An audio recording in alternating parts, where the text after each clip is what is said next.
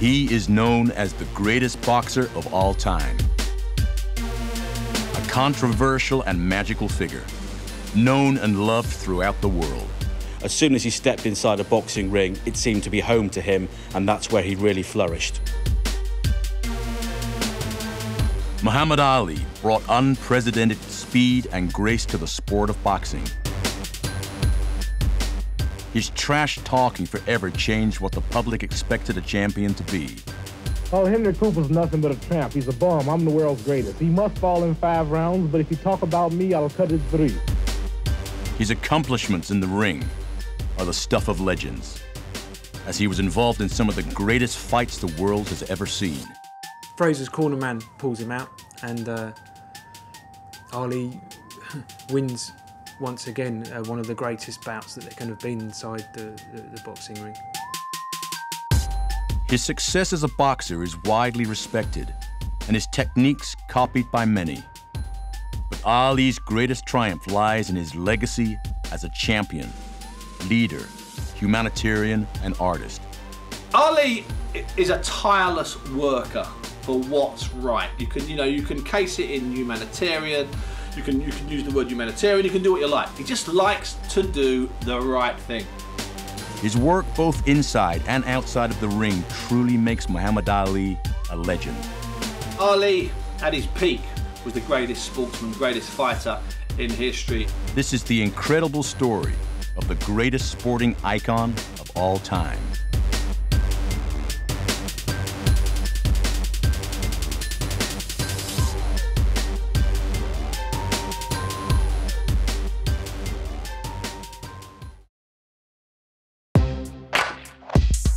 Muhammad Ali's life and career have played out as much on the front pages of newspapers as on the inside sports pages. His tale of controversy and success is most definitely a unique one. Where did it all begin for the sporting legend? Cassius Marcellus Clay, big uh, idol of mine and obviously many, many others. Um, he was born into a Catholic family, um, raised in uh, Louisville, Kentucky. Well, unlike many boxers, I suppose Ali wasn't somebody who came from the wrong side of the tracks. He had a very supportive middle class family. Religion was very central to his upbringing. His mother, Odessa, brought he and his brother up, Rudy, as a Baptist. He was born in Louisville. He was, he was christened Cassius Marcellus Clay. What people I don't think fully understand is it was a segregated city. It wasn't a city with a bit of racial tension. It was a black city and a white city, and they didn't mix. There were three areas where black people lived. And of those three areas, there's a mixed three areas, and Ali lived in the sort of middle to the better half of it.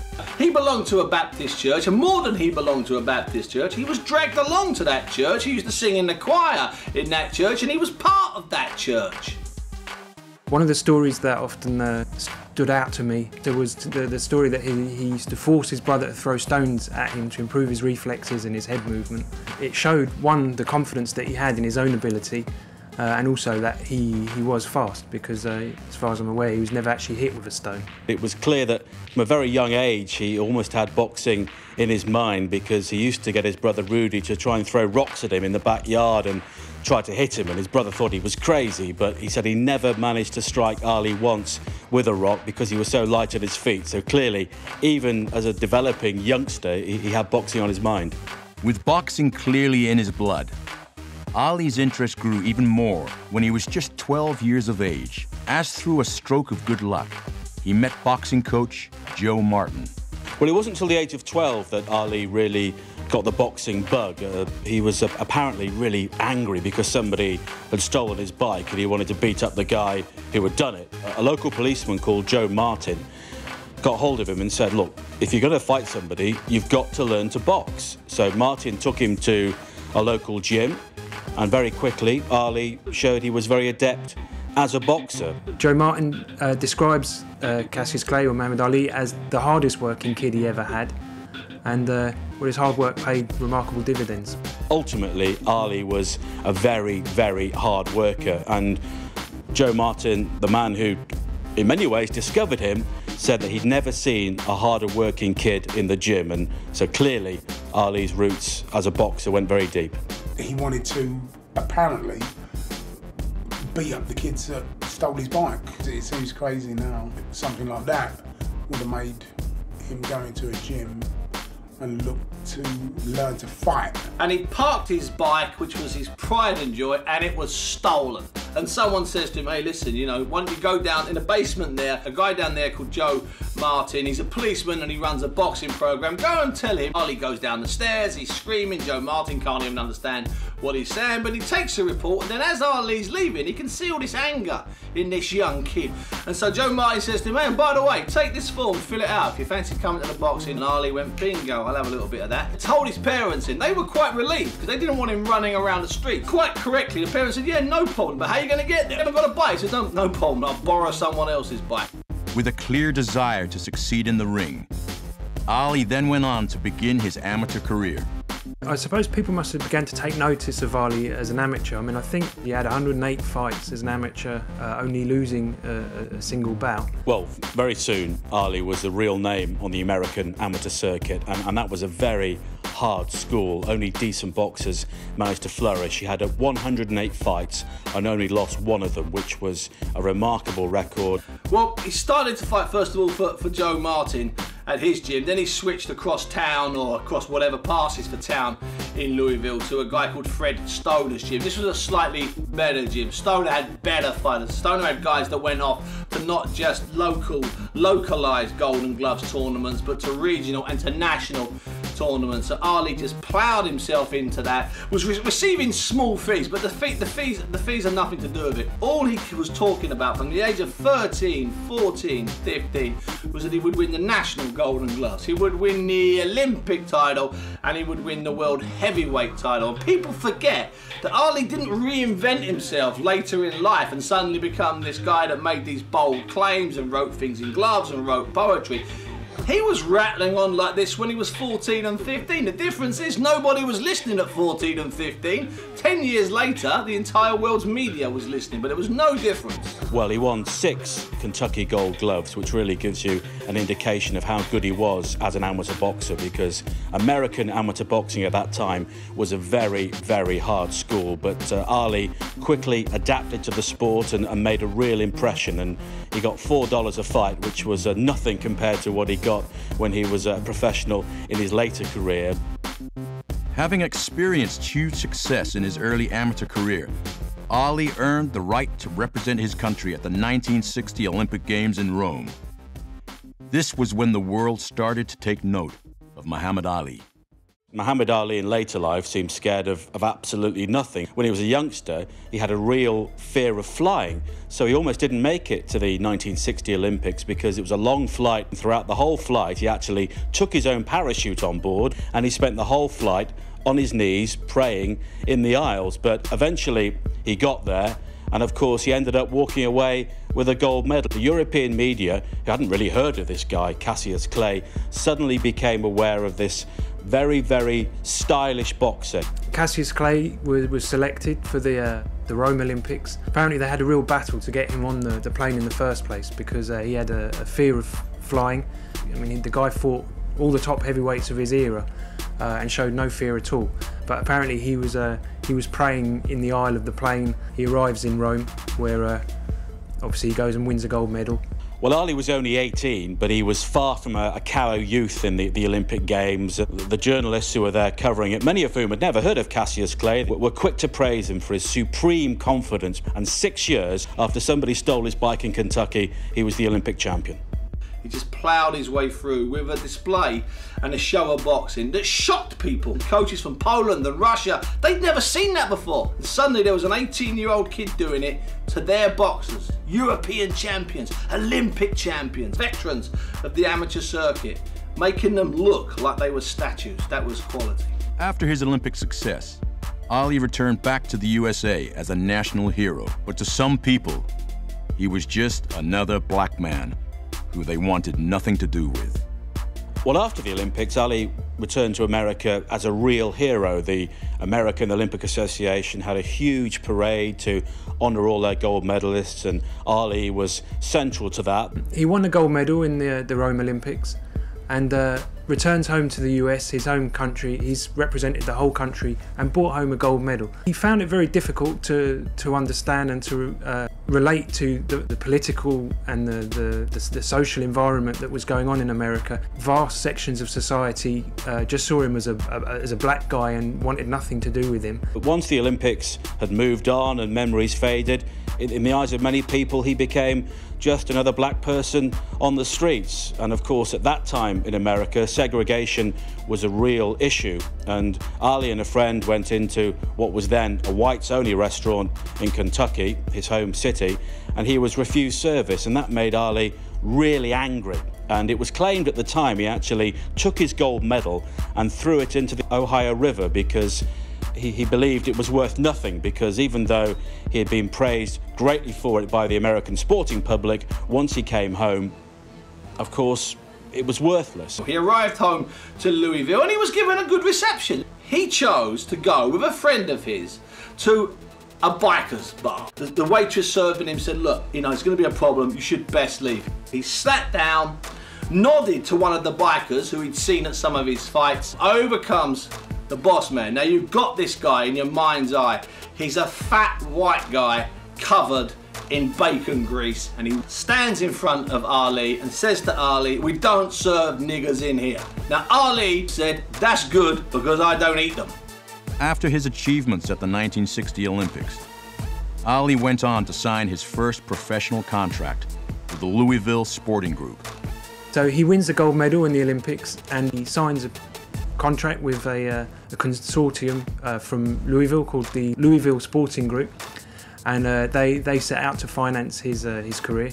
Well, after Ali returned from Rome with the Olympic gold medal, he was always going to be hot property in the American professional ranks, and the Louisville sponsoring group paid $100,000 to sign him up to a professional contract. Now, of course, that pales into insignificance when you consider how much money boxers get paid now, but in the early 1960s, $100,000 was an awful amount of money, and Ali and his family must have believed he was made. But Ali was always somebody of generous spirit, and the first thing he did when he got his money was go out and buy his mother Odessa a pink Cadillac.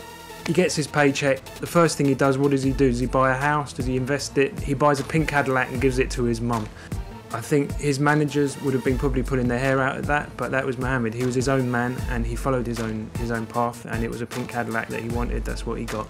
He went with 10 businessmen, 10 local millionaires. They threw the money in the kitty and then they started to promote him. They got him started. That gave him the stability. And what that really did is that allowed him to pay off the heavy mortgage on the family home that his father had. So he, he, was keen to, to share the money around, but with that money and with his status as a professional, many people believe that Ali had really arrived as a boxer. Cassius Clay of Chicago challenges Gary Joish, the Eastern heavyweight champ, and Joish is in trouble from the first round on. After signing his first professional contract, Ali managed to persuade legendary trainer Angelo Dundee to become his coach and it was a partnership that was about to change the boxing world.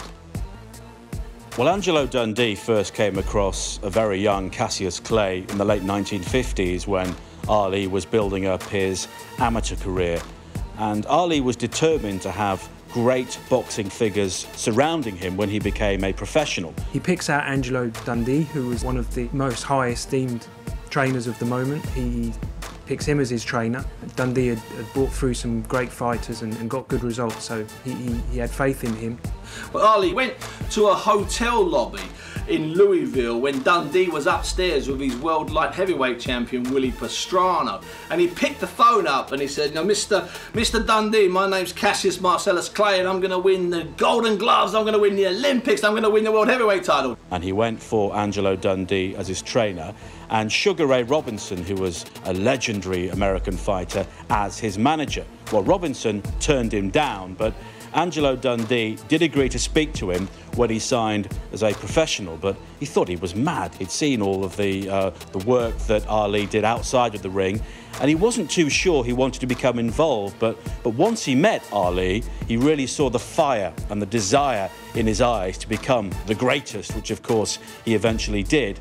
With Ali's natural ability and Angelo Dundee's confidence and instilling confidence and instilling his work ethic into Ali made obviously made Ali the better fighter. Angelo Dundee was almost persuaded to become Ali's trainer, and I think without him, Ali wouldn't have been the boxer he became. Muhammad Ali is world famous for his trash talking toward opponents. But where did this controversial persona originate from? After a fight in Vegas, Ali met Gorgeous George, who was a professional wrestler at the time. And he, he's a footnote in Ali's career, but he's a very significant one because he was a brash, larger than life figure who indulged in the trash talking both before his bouts and, and during them as well. And Ali saw this and, and it clearly resonated with him because basically he, he then produced a persona which was very similar to Gorgeous George, which he took on throughout his boxing career. Cassius Marcellus Clay, age 24, in his own view the greatest and the prettiest, but as others see him, the loudest and the brashest. Round five. This will be no contest. This will be a total annihilation. Ali had always been a good talker, but in 1961 he had a fight with a guy called Duke Sabedong in Las Vegas. And a few days before the fight, he manages to get himself on the radio. And he's sitting down in this radio studio. And in comes this guy with blonde hair, making loads of noise, and sits down. The radio interviewer says, you know, this Saturday at the Dunes or wherever, you know, this young young Cassius Clay, Olympic gold medalist from last year, is going to be fighting Duke Sabedong.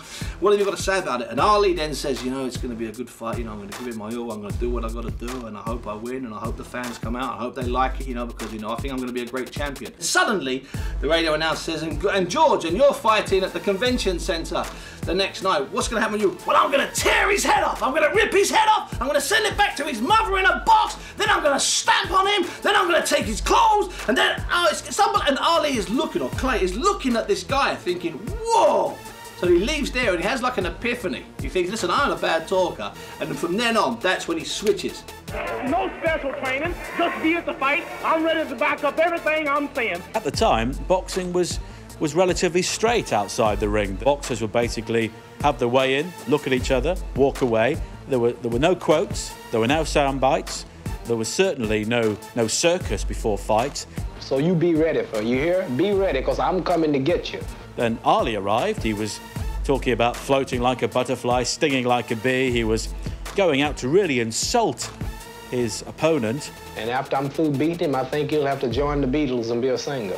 Nobody had done this before. Ali was the first, and of course, as we see now, virtually every single other boxer in the professional rank indulges in the trash talking, indulges in the showmanship, and that's because of Muhammad Ali and what he saw in Gorgeous George. He's dying to get in the ring with me again. Well, he'll get his chance. In 1963, Ali traveled to London, England to fight his first professional bout abroad and took on the UK's hard-hitting Henry Cooper. Well, it was a big deal for Ali to fight outside of America, and he came to one of the most iconic venues in London, Wembley Stadium, and there were 55,000 people there to see Ali fight Henry Cooper. Cooper was what a heavyweight really was accepted to be at that time. He was a big puncher, he was a strong man, he was aggressive, a gentle giant, but in the ring, a brutal man too. When Ali was a slight betting underdog, Cooper was seasoned. You know, he'd been there, he'd done that. Right at the end of the fourth round, he caught Ali with his famous Henry's hammer, the left hook, and Ali went down.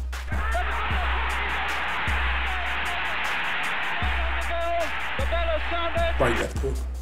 Fantastic punch, obviously.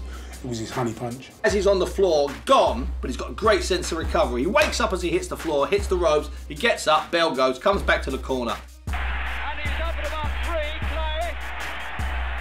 That was the end of the fourth round, and he hit him about two seconds before the end of the round. Now, Angelo Dundee had noticed a tiny little tear in one of the gloves. Okay, so what he did is he manipulated the tear a little bit more, called over the referee, and gained a bit of extra time. And significantly, the end of that round was far longer than it should have been, so Ali was able to recover and Cooper wasn't able to capitalise. And in the end, Cooper received a cut in the following round and the fight was stopped.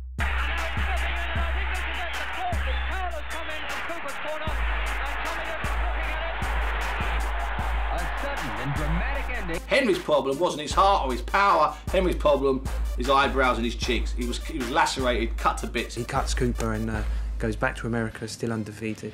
Ali, from that moment, had a great deal of respect for Henry Cooper, which endured right to the end of Cooper's life. And he said, when that left hook hit him, it hit him so hard, even his ancestors in Africa felt the punch.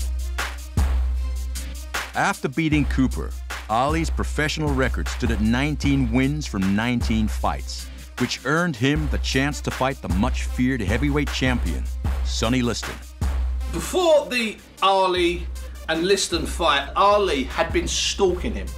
His backers in Louisville had paid for him to get on a plane and go to Las Vegas to harass Liston when he was training, to harass Liston before and after his fight with Floyd Patterson in Las Vegas. Ali invades the ring. He was inside uh, Sonny Liston's tunnel vision. Sonny Liston was the man in American boxing, and, and the build-up was something which nobody had ever really seen before. Ali would drive to Liston's house at 3 a.m. in the morning and sit outside and shout abuse at him to try and rile him. He said in the pre-match press conferences he was a big ugly bear and Ali was going to donate him to the zoo afterwards. And Liston was thinking, who is this guy? He's a young pretender and he's coming into my ring to tell me how he's going to beat me. Here's the thing nobody, nobody thought Ali could do it. I believe inside the Ali camp there was a crisis of confidence. The bookies didn't think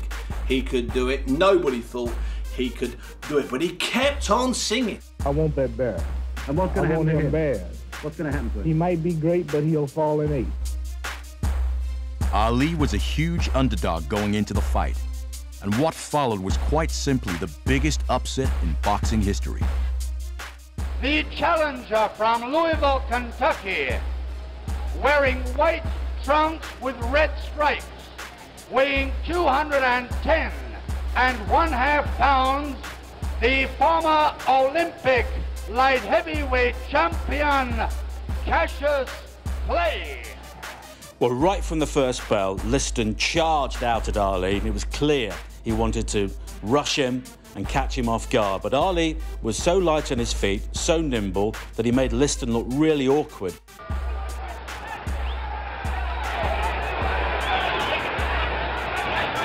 Cassius Clay on the move as we see, looking to get Sonny to run. It was obvious in the first bell that Liston, the world champion, had miscalculated. He hadn't factored in how fast and how elusive and how good, and I also think how powerfully built and how strong Ali was. At the end of the fourth round, he went back to his corner and he complained that his eyes were burning, and Ali said he couldn't carry on. And the reason for that was Liston had applied some ointment to his gloves and it, it, had got into Ali's face and had really created problems for his eyesight, which was, of course, beyond the rules, but apparently it's something that Liston used to do. Something's wrong with Clay. I see that, Joe. His eyes, his eyes are bothering him. Ladies and gentlemen, we don't know exactly what happened. They're yelling from Cassius Clay's corner. Something got in his right eye. And he went back out there, and the sweat and the, the tears which were flowing at the time washed the ointment away. And Ali managed to work his way back into the fight. And then when it came to the end of the sixth round, Liston sat on his stool and never got up again. They might be stopping it. That might be all, ladies and gentlemen. What slowly unfolded inside that ring at the convention centre in Miami was not only one of the biggest shocks in boxing history, but it was a masterclass on how to beat the bully. And then at the end, as he said, I shocked the world. Then he started pointing at different journalists at ringside. He said, I told you I was taking names, and I'm taking names, and he wasn't joking. In the early 1960s, Ali became very close with the American Muslim leader and human rights activist Malcolm X. And it was a friendship that was making headlines across America. Well, Malcolm X was an American Muslim leader and also somebody who fought very hard for human rights. And Ali first met him in 1962 when he was a rising star. He was clearly really affected by what Malcolm X was saying. He attended many of his speeches and rallies over the next few years. He's, he's been in some circles quite widely criticised for his relationship with Malcolm X, but I think if you try and put yourself in his shoes, you can see he's a black guy in a country where black people are not getting a fair deal. A lot of the black people, I would imagine, they weren't really in a position to change that. Um, but Malcolm X, he, he, he was. And their relationship was a little bit like father and son in the sense that Malcolm X embraced Clay and Ali and tutored him and talked to him. He was a very charismatic man, and most of what he said seemed to appeal to, to Clay. But Ali was having to secretly go to Nation of Islam meetings, and mostly with uh, Malcolm X, or they were generally just spending time in hotels. And a great deal of what Malcolm X was saying really resonated with Ali, and he very quickly became a spiritual mentor for him because Ali saw Malcolm X as somebody who was standing up for black power and black human rights at a time in America when there was segregation and a good deal of racism towards what Ali saw as his people. So the more he listened to Malcolm X, the more he spoke to him, the more that Malcolm X became an influence on him. Clay almost uh, aligns himself with, with Malcolm X. Malcolm X seemed to become like a spiritual mentor to him, and uh, together they, they joined forces. In 1964, Ali announced his official membership with the Nation of Islam, and it was an announcement that was surrounded by controversy. Will your next fight be billed as Cassius Clay or as Muhammad Ali? Muhammad Ali!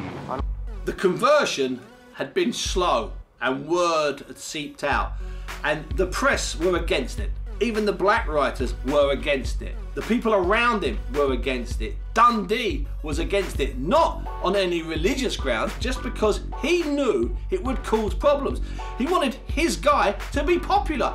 He didn't want him to be victimized. He didn't want him to, to, to, to, to somehow be sort of put up on this pedestal as some kind of radical, as some kind of bad guy, because he knew his guy was a good guy. It was a tricky time that for, for the Nation of Islam. X was kicked out and then X was killed. There were all sorts of complaints against Elijah Muhammad and the way he ran the Nation of Islam. The FBI was seriously involved. Muhammad Ali has got an enormous FBI file. He was being monitored left, right, and centre. And that was what I think upset Dundee most in my opinion, was the fact he didn't want his guy to be painted as a bad guy. It was his choice. How he practiced was his choice. And he no longer wanted to take the name Cassius Clay because he said that was a slave name. So he was given the name Muhammad Ali from the Nation of Islam, and he said that was the name which he wished to be now known as. And that was huge news in America because he was now such a massive star. And if you want to look at it in the cold light of day, it, it, it, could have been a risky move as well because it would jeopardize many money making opportunities and sponsorship deals which he was setting up and could potentially win as his boxing career grew. But that wasn't important to Ali. He felt that. Uh, by taking a name from the Nation of Islam, he was really doing something important, not for his sporting career, but for his life as a whole, and, and he always stuck to it. In 1965, a year after their first fight, a rematch was agreed between Ali and Liston. The fight proved to be hugely controversial as Sonny Liston fell in the first round to a blow that was labeled as the Phantom Punch. Many fans and journalists started to speculate that Liston had taken a dive. From Louisville, Kentucky, he's wearing white trunks. He weighs 206. The heavyweight champion of the world, Muhammad Ali. Well, the rematch with Liston was one of the biggest letdowns, not just in American boxing history, but in American sporting history as well, because there'd been so much anticipation after what had happened in the first fight when Ali took the title. But in the end, halfway through the first round, Ali allegedly threw a punch. Many people called it the Phantom Punch, and Liston hit the deck.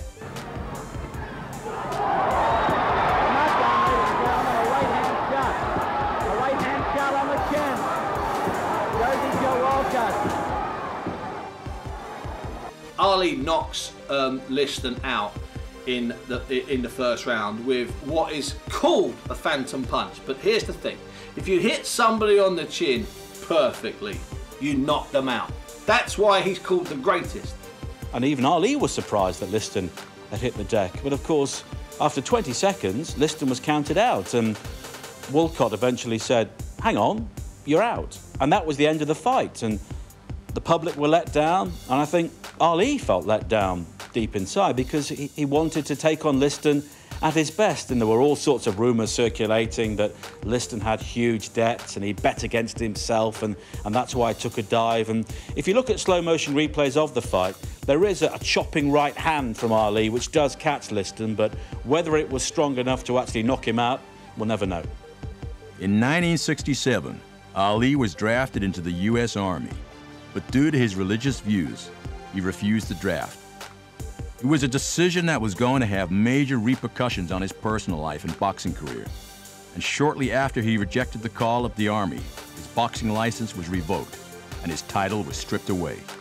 Well, by 1967, Ali was reaching the peak as a boxer, but of course, the Vietnam War was carrying on at the same time, and in that year, he was drafted to serve in the army, but he refused, saying he wasn't going to fight because of his religious beliefs, and he famously said he had no problem with the Viet Cong. But of course, the American authorities weren't going to allow this to happen, and he was still called up to become drafted into the army. But when his name was called, he refused to stand up, and basically, he refused to fight. Pros heavyweight champion Cassius Clay at a federal court in Houston is found guilty of violating the U.S. Selective Service laws by refusing to be inducted. He refuses to cross the line in Houston. Within hours, New York had dropped him, taken away his license to fight, even though he was world champion at the time, and the rest of America followed. Before he'd even been charged, before there'd even been a court date for his trial, which of course he went to and got sentenced to five years, which took a few years to, to, to be suspended completely. Something terrible happened there because possibly, if not definitely, the greatest heavyweight that we ever had had his greatest years taken away from him. But what it did is it robbed sport of its greatest boxer during his peak period. The years we lost were the best Muhammad Ali years. Ali agrees with that and Dundee, Angelo Dundee told me that personally. The people that were with him in the 60s will tell you. That gap, we lost the greatest sportsman and obviously the greatest boxer of all time. During his exile from boxing, Ali took it upon himself to speak at schools and colleges across the U.S. against the war in Vietnam. He did tours of colleges and universities all around America, lecturing against the Vietnam War and also spreading a word of peace and also emphasizing his religious beliefs. And that took a huge amount of backbone. It would have been very easy for Ali to have said, okay, I'll join the army, I'll do my tour of duty, and I'll come back and I'll carry on boxing.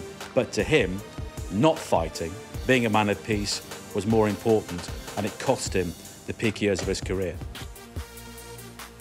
In January of 1970, certain states and boxing commissions began to reconsider allowing Ali to fight again. And just a few months later, his boxing license was reinstated. After three and a half years of exile, Muhammad Ali was back in the ring. Well, of course, in the three and a half years when Ali was in exile, the boxing public, the fans, were really disappointed because Ali was the man. Ali was the hero, and they were denied seeing the greatest fighter in the world strut his stuff. Year of 1970. Some athletic commissions were, were rumoured to be considering to give him his licence back, and sure enough, he gets his licence back. And Atlanta were the first state to give Ali his licence back so he was able to fight. And in 1970, he fought Jerry Quarry, who had become the man in Ali's absence. It wasn't a walkover. You know, he could have fought a bum. He could have fought a guy that was hopeless. So many champions now, when they come back, they would have fought rubbish, garbage. He went to a top five heavyweight and had a proper good war first time back. You know why? Because he wanted to test himself. Because he knew he was going to go on and keep using the same rhetoric and keep pointing and keep claiming, he needed to know himself that he still had it in his feet and in his head, and he did. In 1971, Ali took on Joe Frazier, who was so famously given Ali's title when it was stripped away from him in 1967.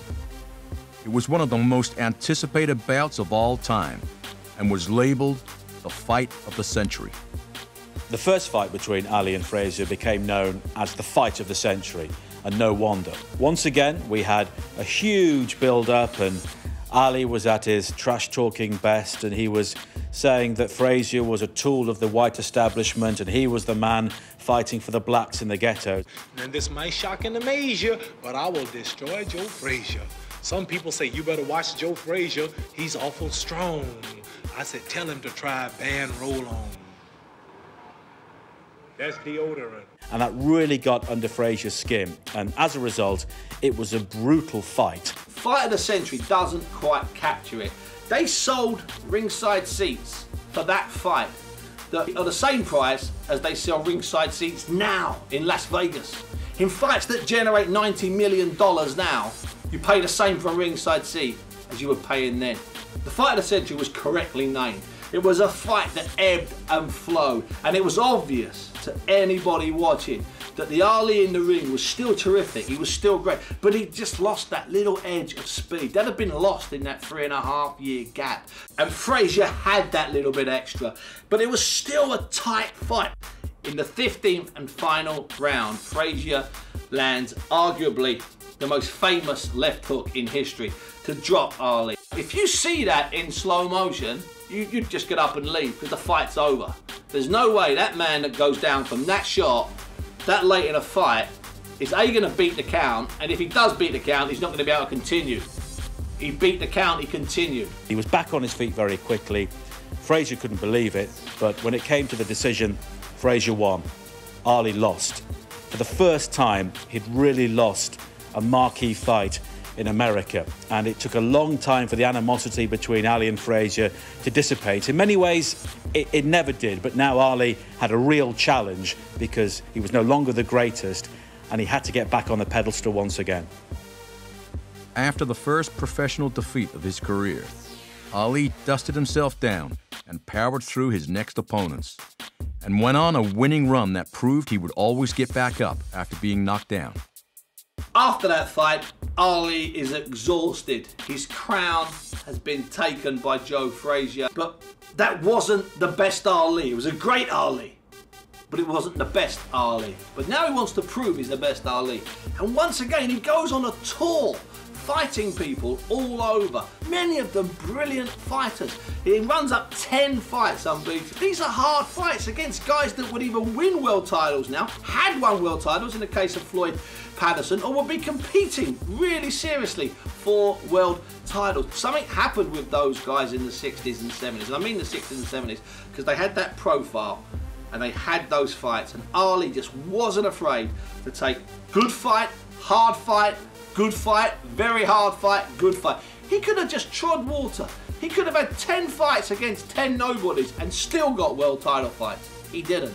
He went the hard way. He went to the tank or the bank every single time in those fights. In 1974, world famous boxing promoter Don King organized a fight between Ali and the world heavyweight champion George Foreman. The fight took place in Zaire and was labeled the Rumble in the Jungle. This is David Frost welcoming you to the World Heavyweight Championship fight between the champion, George Foreman, and the former champion, now the challenger, Muhammad Ali. In 74, Don King strikes a deal with the uh, the government in, in Zaire. He arranges a boxing match, a world title, world heavyweight title fight between Muhammad Ali and George Foreman.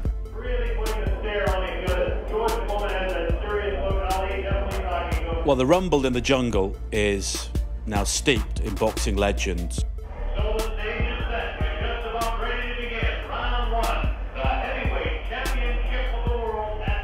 And many people believed Ali had no chance because the people who had beaten Ali had been destroyed by Foreman in previous title fights.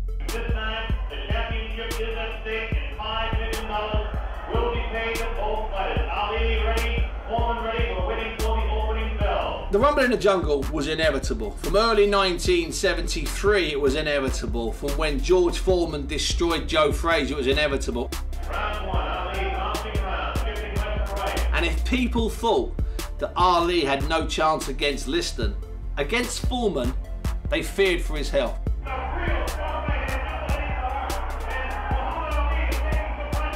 And Ali very quickly got everybody behind him.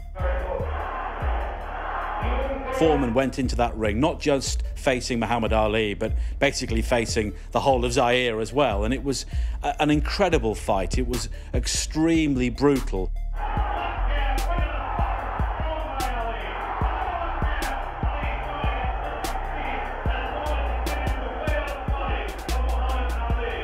Ali's got a fantastic plan worked out with Angelo Dundee. Ding ding, throws the plan out the window, sits on the ropes, lets George Foreman, the most feared heavyweight ever, possibly even more ferocious and more dangerous than Sonny Liston, he sits on the rope and lets him hit him. Ali has worked out that he probably hasn't got eight rounds of speed, eight rounds of movement, and eight rounds of power in him to put off Big George. He needs Big George to play his part in his own downfall by ruining himself, by just hitting at elbows and hitting at air. That's what he does.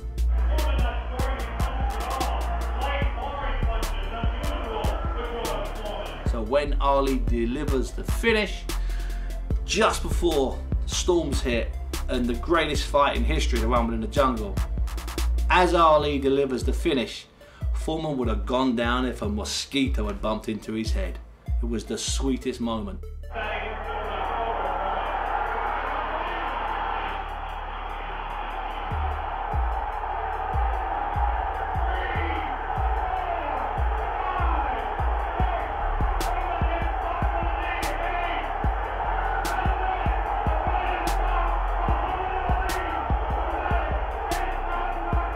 And Ali had won, and it was astonishing.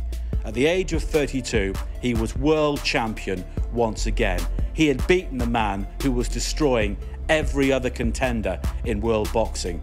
Is it the greatest moment in sport? It probably is if you take into account the build up. I think, I, I truly believe it is.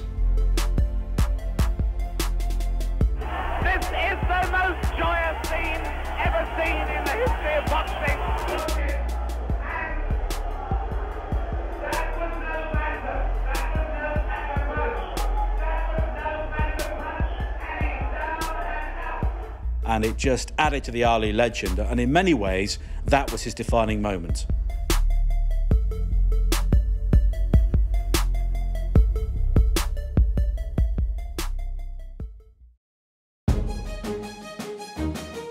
After so famously winning back his title, a rematch was arranged between Ali and Joe Frazier, and it was to be the third fight between the two legends. The fight is regarded as possibly the greatest battle between two heavyweights and will always be known as the thriller in Manila. Although I must say that Joe is not cleaning up on Ali here. The sudden late round Ali flurry. 1975 was the thriller in Manila. We had the third meeting between Ali and Frazier, and it was fought in temperatures of over 100 degrees Celsius. It were brutal conditions, and it was a brutal fight as well. But Ali dredged up every single ounce of energy he had in his body, and it was an horrendous fight. Both boxers took an immense amount of punishment. In the early rounds, his boxing skills were sufficient, but Joe is all over him this round. So they go in this ring, the thriller in Manila, and what a fight. They just hit each other and abuse each other. The savagery is almost unprecedented, and that's saying something for an Ali or a Frazier fight. Right quick lead by Ali. Ali punching better in this round. There's another right, a left and a right. Suddenly, Ali seems to have recaptured some punching ability. When it came to the final round, Eddie Futch, the, the legendary trainer for Frazier, threw in the towel, and Frazier complained and said, I want to fight, but Futch said, You can't see, because both of Frazier's eyes were huge and blown up, and he, he was basically blinded by Ali. 14th round, Eddie Futch, who's in Frazier's corner, says basically, that's it, Joe. No one will ever forget what you did here today, and that's the end of the fight. Frazier's corner man pulls him out, and uh, Ali wins once again uh, one of the greatest bouts that there can have been inside the, the, the boxing ring. After winning possibly the greatest battle ever to be witnessed inside a boxing ring, Ali went on to lose his title to Leon Spinks. However, just seven months later, Ali won his title back in a rematch with Spinks, making him boxing's first three time heavyweight champion. Well, of course, by now, Ali was somebody in his mid to late 30s, which was getting old even for a world heavyweight boxer. And he, he lost his title to Leon Spinks in 1978. And again, it seemed that Ali had taken his challenger too lightly. Spinks was a young, up and coming heavyweight and just picked Ali off when he wanted to and won that fight. But, but typically of Ali, a few months later, he came back and he beat Spinks and won his title again for an unprecedented third time. Everything post Manila is a bonus in many ways. And, and, you know, by then, people, not necessarily inside the Ali business, but certainly inside the boxing business, were saying that he shouldn't be fighting. So Ali manages to win the title back. They're both really good fights in a bizarre kind of way.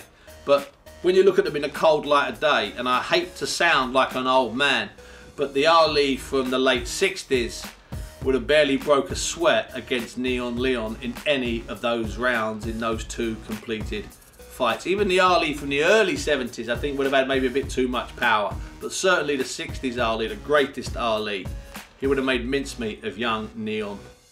But it's significant that between the two fights, Ferdie Pacheco, Ali's doctor, resigned because he'd looked at examinations of Ali's body after the first fight and he said that he simply wasn't fit enough to carry on. And he said Ali should retire.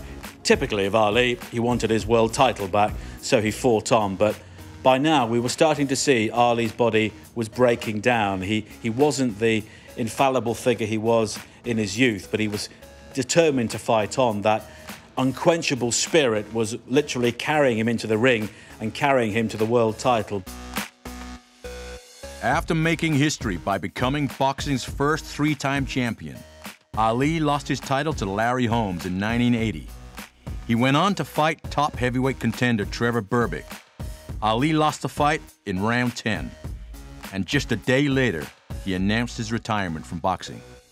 Well, the end finally came in the Bahamas against Trevor Berbick. Of course, the end had really come in Las Vegas when he lost to Larry Holmes in a fight that was horrible to watch. Horrible for Larry Holmes. He ended up in Ali's suite at Caesars crying at the feet of his hero. The Berbick fight, well, the less said about that, the better. It was a fight that shouldn't have happened, and the people around him should have known better. They knew that shouldn't have happened. Everybody knew that shouldn't have happened. And it's one of the most unedifying spectacles in sport.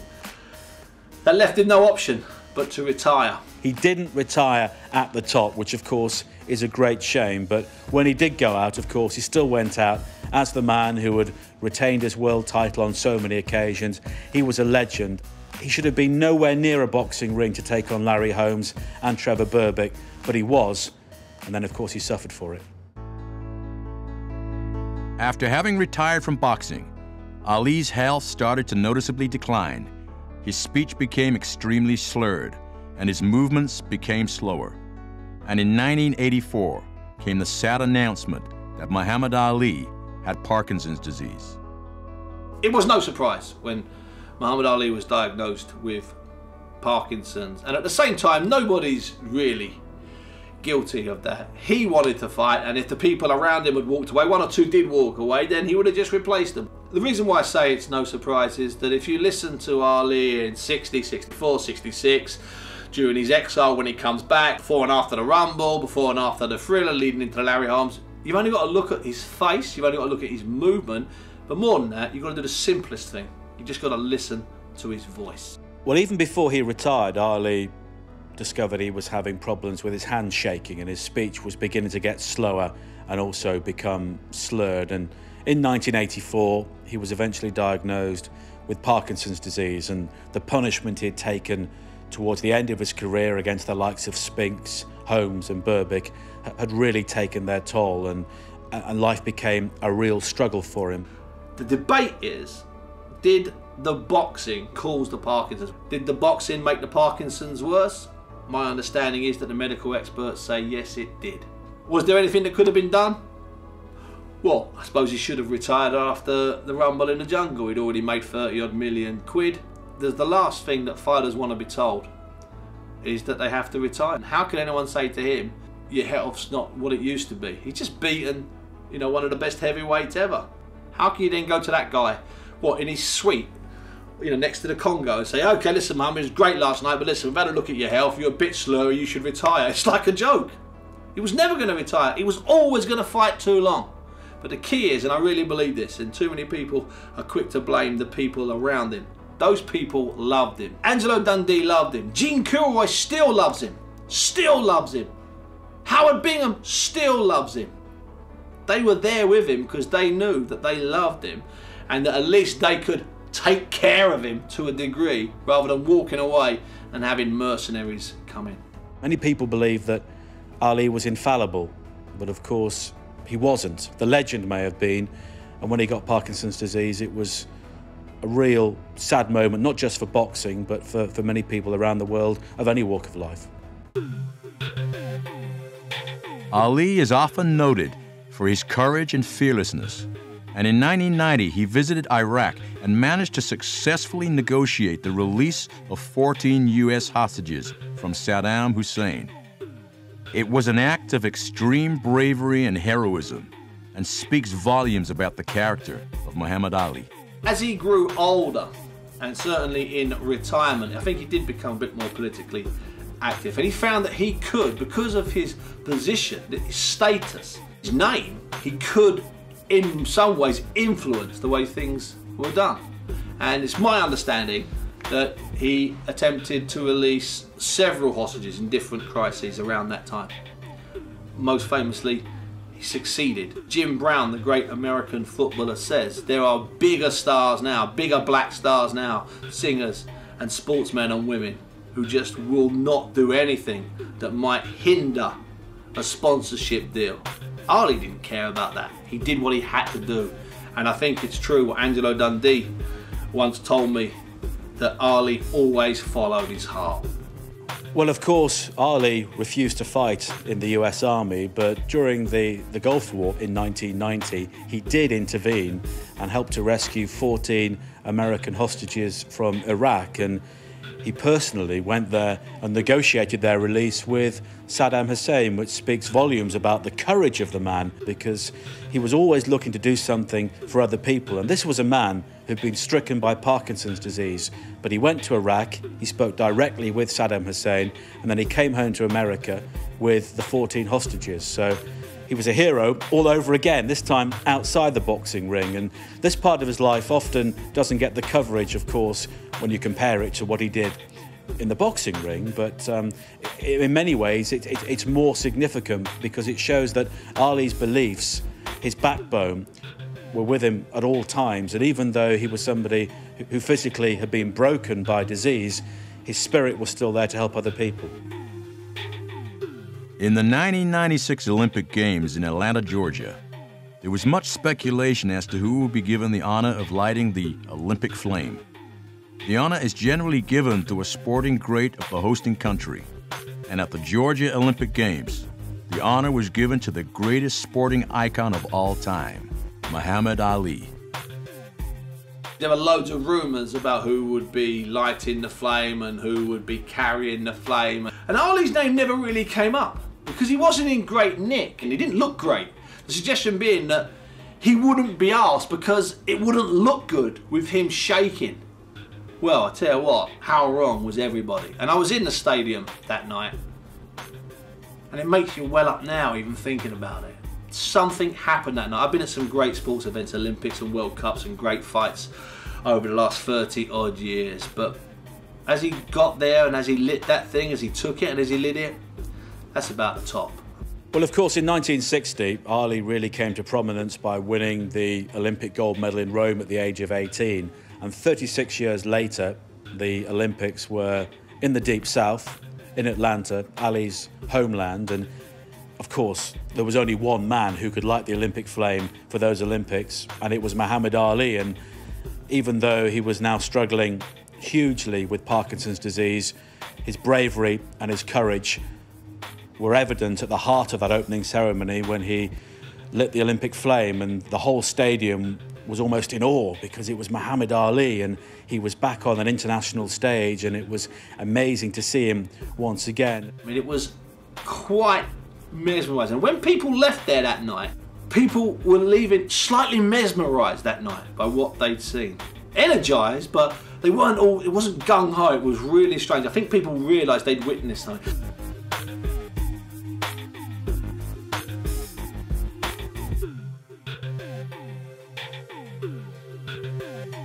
2005, Ali was awarded the Presidential Medal of Freedom at a ceremony with George W. Bush. It's the highest medal a U.S. civilian can receive, and it was the recognition of all the amazing humanitarian work Ali had done throughout his life. Well, despite the brutality which Ali often dished out in a boxing ring, he was a man of peace. And we saw that in what happened when he went to Iraq to negotiate the release of the American hostages. He also went to Afghanistan for the UN as one of their peace envoys. And that was recognised by George W. Bush in 2005 when he was given this special honour. And I think it was right he was given this because throughout his life, Ali was somebody who had huge ironclad beliefs about peace and about helping other people. You go back to when he first got his professional contract, the first thing he did was buy his mother a pink Cadillac, and that just gives you an indication of his generosity of spirit. He likes to do the good thing. Now, whether this is on a grand scale, like getting hostages out, out of Iraq and getting them back safely to America, or whether it's on a smaller scale. It's right that the American people always saw him as somebody who was an icon, and that's why George Bush was, was giving him this award. Muhammad Ali's annual celebrity fight night has helped to raise millions of dollars for charities all around the world. It's testament to the character of Ali, the fact that he is willing to put his time and effort into raising huge sums of money for the benefit of others, goes a long way to convey the kind and compassionate side of Muhammad Ali. Muhammad Ali's celebrity fight night has helped raise uh, $45 million. Um, I think that goes a long way to confirming the impact that he's had and he continues to have uh, long after his career's over.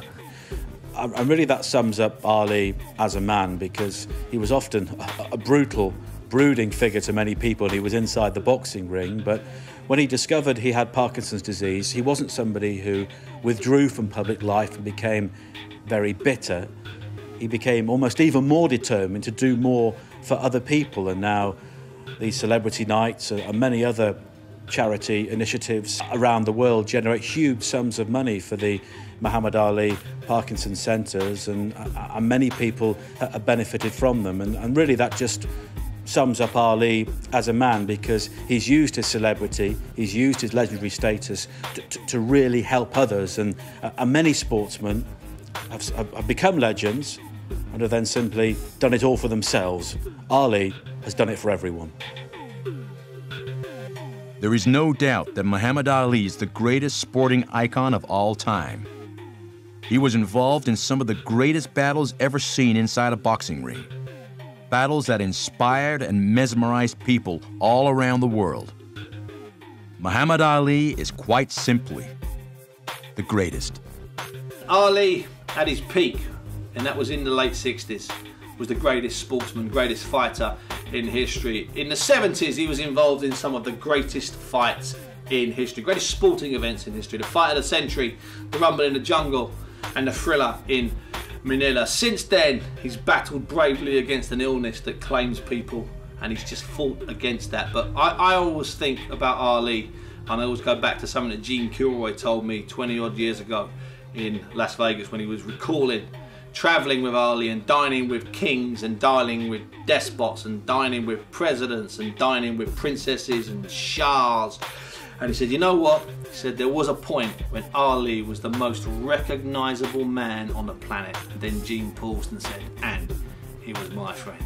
And I think that really, that's probably what they'll put somewhere on, his tomb. They'll say the most recognizable man in the world and a friend to everybody.